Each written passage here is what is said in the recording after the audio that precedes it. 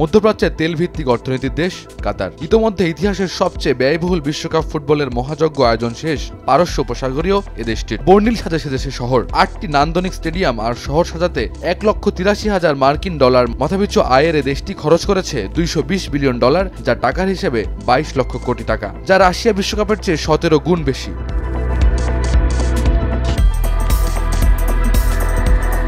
আটটি স্টেডিয়ামের একটি হল নাইন সেভেন ফোর স্টেডিয়ামটি, যাকে বলা হচ্ছে নান্দনিক স্থাপত্য শিল্পের এক আশ্চর্য মাইল ফলক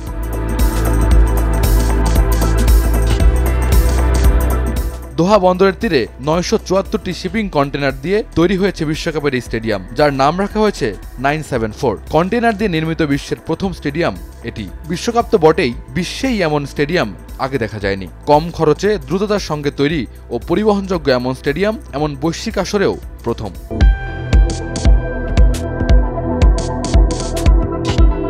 বিশ্বকাপের পরপরই অবশ্য ভেঙে ফেলা হবে স্টেডিয়ামটিকে। আর সেই ভাঙা অংশ দিয়ে তৈরি হবে অন্য নতুন কোনো স্থাপনা।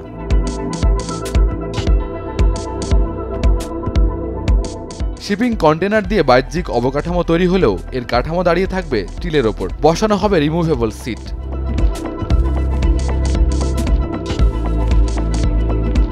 ম্যাচ শেষে খুলে ফেলা হবে অবলীলায়। মধ্যপ্রাচ্যের টেকসই উন্নয়নের ক্ষেত্রে এ স্থাপনা এক নতুন মাইল ফলকের সৃষ্টি করবে।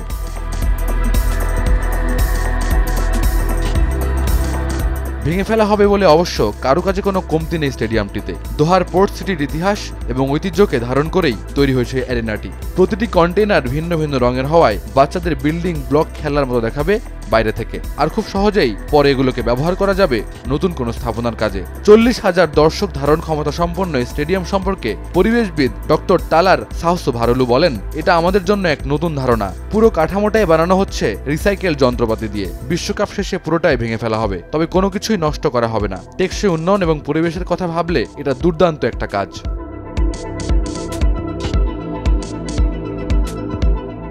স্টেডিয়ামটি হামাদ ইন্টারন্যাশনাল এয়ারপোর্ট থেকে মিনিট খানেক দূরে অবস্থিত। গ্রুপ পর্বের পাঁচটি ম্যাচ ছাড়াও এখানে অনুষ্ঠিত হবে শেষ ষোলোর একটি ম্যাচ। ফয়সাল আহমেদ, সময় সংবাদ।